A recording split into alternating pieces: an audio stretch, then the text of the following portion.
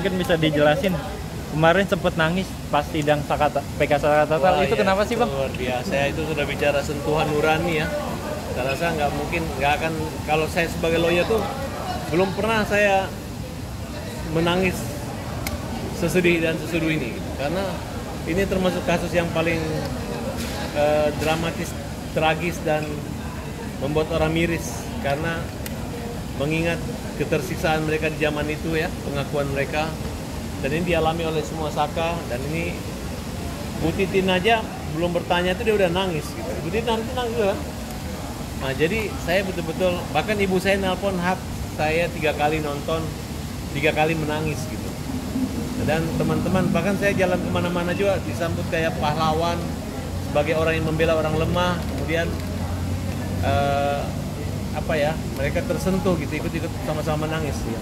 Berarti apa yang saya rasakan pembelaan ini bukan hanya saya merasakan sebagai pengacara tapi seluruh yang menyaksikan sidang itu juga ikut punya peduli, empati, simpati dan uh, punya nurani untuk perkara yang air mata. Air mata itu saya artikan adalah uh, suara kebenaran dan suara harapan keadilan. Mudah-mudahan tangisan ini suaranya dan rasa hati itu bisa terasa semua di Indonesia dan mereka ini ada. Apa yang dikatakan itu bukan bohong. Apa yang dikatakan mereka itu adalah ketersiksaan dan ketidakadilan. Bang, tapi nangisnya karena mungkin uh, keterangan dari yang bersangkutan Bukan, di saya mengikuti alur daripada saksi tersebut. Mereka adalah orang yang ingin membantu pen- peninjauan kami, kembali kami. Mereka adalah orang yang uh, punya waktu untuk membantu kami perjuangan. Mereka ada saksi. Kalau mereka tidak peduli, nggak bisa. Mereka nggak dibayar, nggak ada uh, janji apa nggak ada. Mereka hanya menerangkan bahwa memang benar Saka minum air kencing, Saka disiksa, mereka disiksa, semua disiksa. Mereka minta semoga Tuhan mengetuk hati pimpi- pimpinan Mahkamah Agung, hakim-hakim agung agar membebaskan terpidana ini dan membebaskan merehabilitasi kembali nama Saka Tatal. Bang, kalau dari abang sendiri melihat uh, PK Sakatatal nanti putusannya akan membuat Sakatatal Dari PK itu dan sudah abang kita bahagia bahwa ini adalah jebakan Batman menurut ahli karena Saka Tatal sebagai perkara anak didahulukan sidangnya dalam tempo waktu cuma satu bulan. Sedangkan se- perkara dewasa karena dia adalah perkara turut serta saja. Nah, kemudian eh, tidak ada satu saksi ahli eh, saksi ataupun yang mendengar, melihat, menyaksikan langsung hanya berdasar pada pengakuan-pengakuan tersangka aja yang dikejar sama hakim dan jaksa. Nah, kemudian eh, dari Mabes Polri mengatakan dua terpidana atau DPO itu fiktif. Kemudian Peggy sudah bebas dan dikabulkan pra peradilannya. Belum Liga Akbar mencabut, belum Teguh mencabut, belum Dede mencabut semua keterangan-keterangan yang memberatkan mereka. Ini merubah kronologis peristiwa pidana dan mereka ini adalah orang-orang yang baik, orang benar.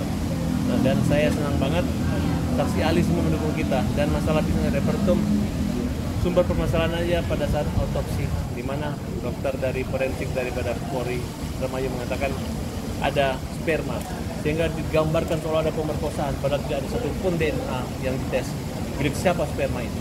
Itulah ke- kesalahan daripada persoalan ini. Mbak, kemarin kan saksi ahli yang diajukan cukup banyak nih, cukup menarik juga gitu. Tidak adanya. Ini bagaimana nih Bang untuk perannya masing-masing untuk memberikan uh, bantuan atau saksi uh, tanggapannya dari apa?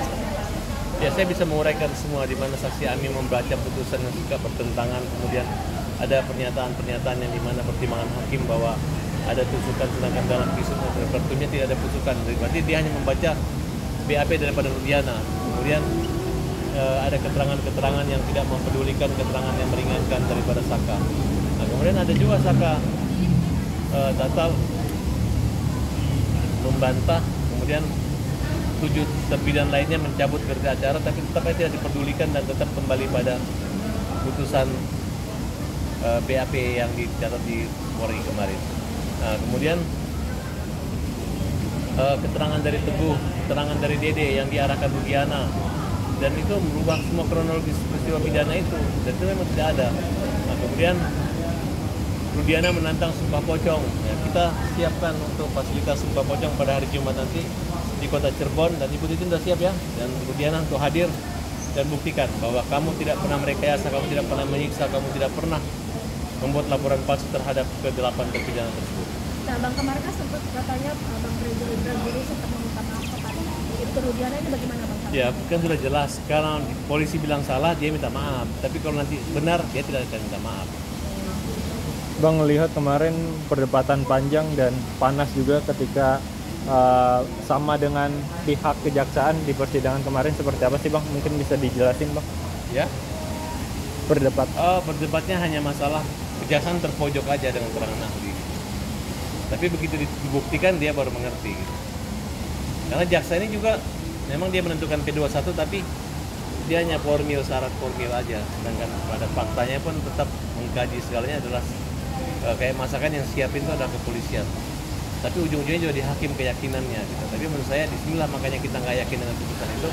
Kita melakukan ujian peninjauan kembali yang mudah-mudahan dapat dirubah dan mendapatkan keadilan kebenaran Nah bang, bagaimana sih kemarin kan sempat katanya Pak Susno Haji enggan untuk menjadi saksi dan tiba-tiba akhirnya menjadi saksi juga disaksikan. ya hadir dia menjawab yang sebenar-benarnya gitu. Reja Indragiri juga mengatakan bahwa di sini ditemukan adanya kebohongan dan ditutup-tutupi oleh aparat maupun saksi lain dan kami senang Saka Tatal jadi saksi LPSK yang dilindungi tapi saksi-saksi yang diajukan polisi dari LPSK dan saksi-saksi yang bohong itu ditolak semuanya mereka punya kecenderungan berbohong tapi pengen banget jadi saksi nah kemudian rekomendasi kepolisian agar mereka jangan diperiksa dan intimidasi dan dikembalikan ke tahanan-tahanan eh, mereka karena mereka adalah pengawasan kumham bukan dalam pengawasan polisi Bang yang terkini juga kan para tujuh terpidana diperiksa oleh Bareskrim di Bandung.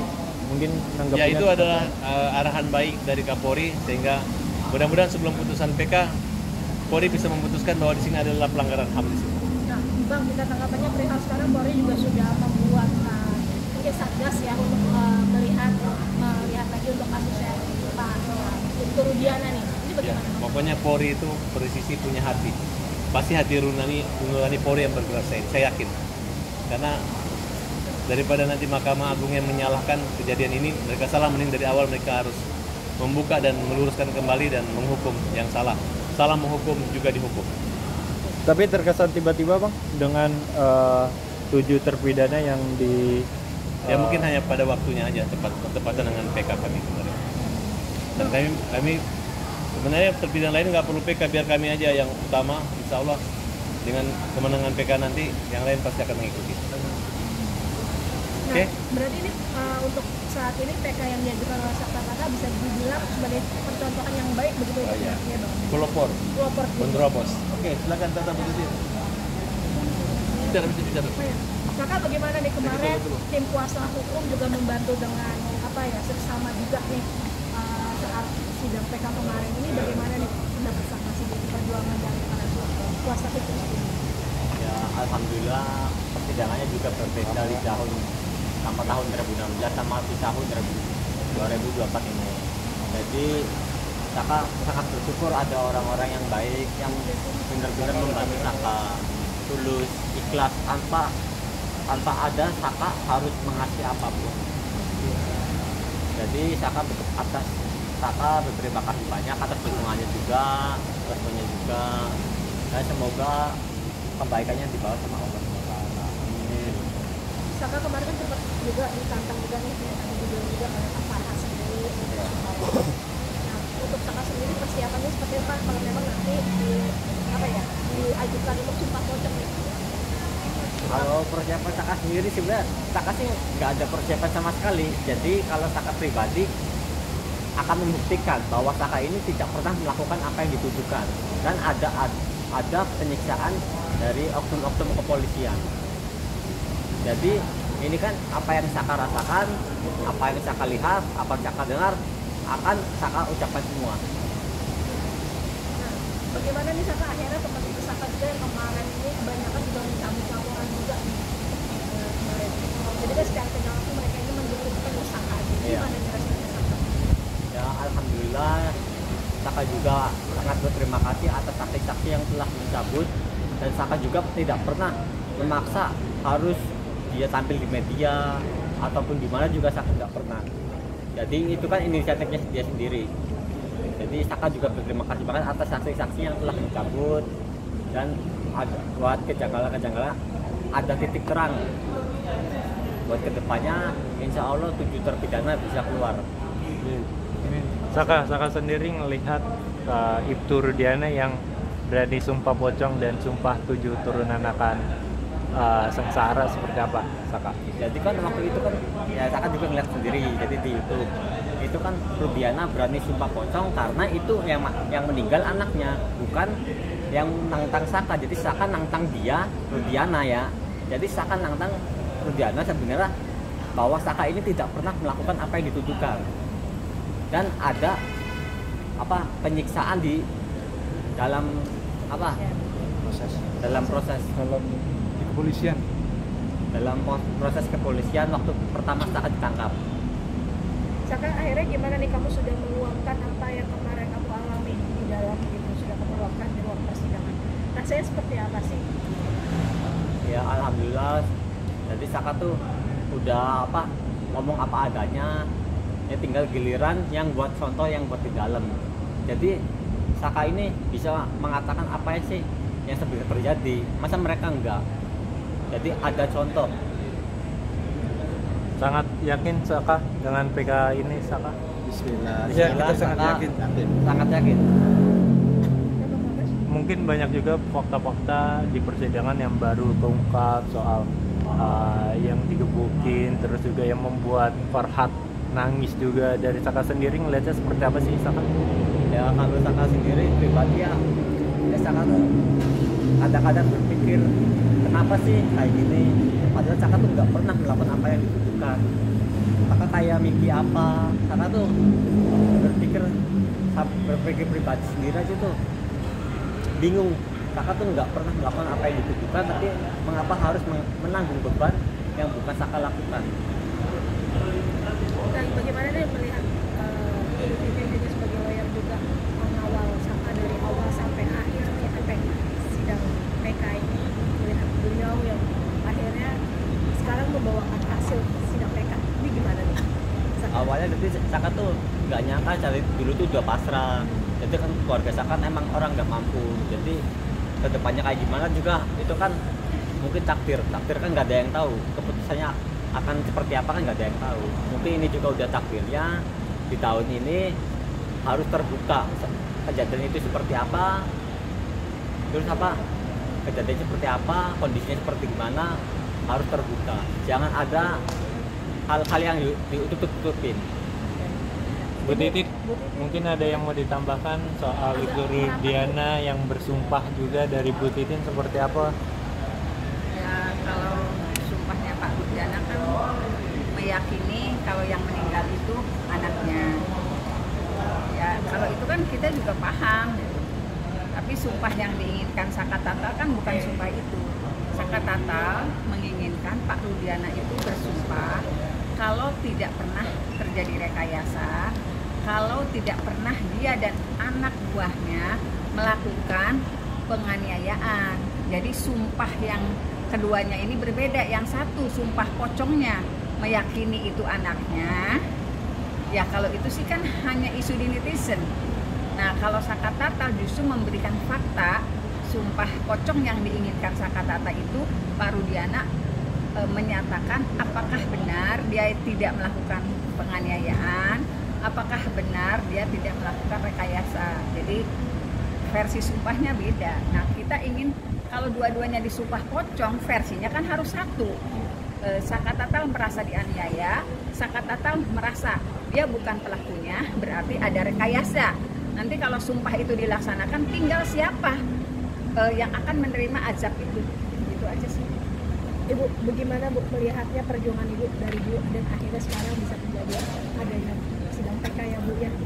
Itu kan dulu kita tahu lah Ibu uh, dari yang susah sampai yang sekarang membela Saka gitu. Itu gimana Bu? Ya sebetulnya kalau saya sih dari dulu meyakini Saka dan tujuh terpidana lainnya tidak pernah melakukan kesalahan. Karena apa? Saya di Cirebon, saya tahu faktanya. Saya juga eh, di fakta-fakta persidangan juga sudah terungkap semua sebetulnya. Tetapi saya tidak ngerti waktu itu kenapa tidak ada hati nurani dari Bapak jaksa dan hakim yang waktu itu melakukan persidangan. Padahal mereka sebetulnya tahu betul ketika eh, eh, bukti-bukti disajikan itu tidak pernah ada yang eh, secara nyata membenarkan telah terjadi pembunuhan dan pemerkosaan. Berulang kali saya sampaikan dakwaan dan tuntutan itu terjadi penusukan tetapi tidak pernah ada luka tusuk di tubuh korban seperti yang tertuang dalam hasil visum maupun hasil otopsi. Tetapi saya juga nggak paham kenapa waktu itu hati nurani eh, orang-orang yang dianggap harus melakukan penegak keadilan justru tidak bergeming dengan fakta-fakta persidangan. Padahal mereka juga sebetulnya tahu ke delapan terpidana ini sekarang yang dulu terdakwa itu mengalami penyiksaan luar biasa. Mereka sebenarnya paham. Jadi saya sih nggak ngerti sih waktu itu apa yang ada di pikiran dan apa yang menjadi pertimbangan majelis dan eh, jaksa yang melakukan penuntutan. Tapi Saka sendiri melihat bantalan da- bantahan dari Ibtu Rudiana tentang aniaya kamu dan tujuh terpidana lainnya. ya kalau itu masa Saka nggak peduli. Yang ngalamin kan Saka sendiri bukan bukan dia. Emang dia ngalamin apa? Ngalamin penyiksaan? Kan enggak yang disiksakan Saka Tapi artinya banyak orang sekarang yang tahu bagaimana polisi diduga aniaya kamu ya. ya kalau itu kan yang kamu bukan diduga lagi ya. di- udah bukan ngalamin. diduga lagi itu emang udah ngalamin Sudah terbukti, sudah terjadi. jadi nggak usah ngedenger dari omongan orang lain harus nanya aja sama orangnya langsung Jadi gini loh Mas, Saka itu kan Mbak, Saka itu sudah keluar dari penjara. Konyol kalau dia berkata bohong kalau telah melakukan penyiksaan. Sekarang ada Aldi yang juga waktu itu ditangkap. Konyol kalau dia ngomong di muka sidang dia juga mengalami penganiayaan. Emang Saka sama si Aldi sehebat apa sampai berani berbohong? Gitu. Ya, Saka, gimana ngelihat perjuangan Bu Titin, Bang Krisna sama Bang Farhat untuk memperjuangi PK kamu? kalau itu kalau Saka ya sangat berterima kasih atas dorongannya dukungannya juga dan bantuannya juga Saka juga awalnya tuh nggak tahu bahwa ada orang-orang yang baik yang ingin membantu Ibu Titin awalnya kan Ibu Titin tuh sendiri nggak ada nggak ada yang backupan sama sekali jadi dari Saka ah, dari Saka pribadi dan keluarga Saka Saka sangat berterima kasih semoga amal amal ibadahnya diterima sisi Allah Terharu nggak sih melihat perjuangan tiga orang ini ya sangat terharu dan yakin akan Yakin ya? menang di Yakin. Pasti akan yakin akan dikabulkan. dikabulkan. Mohon doanya semua yakin akan dikabulkan. Dari proses persidangan, Persidangan. pasti akan dikabulkan Ya. dan terketuk hakim peninjauan kembali untuk membe- untuk membebaskan Saka dan tujuh terpidana itu Amin. Ya. dan Ya, ya. menghapus mantan Ma- terpidana itu. Ya. Siap.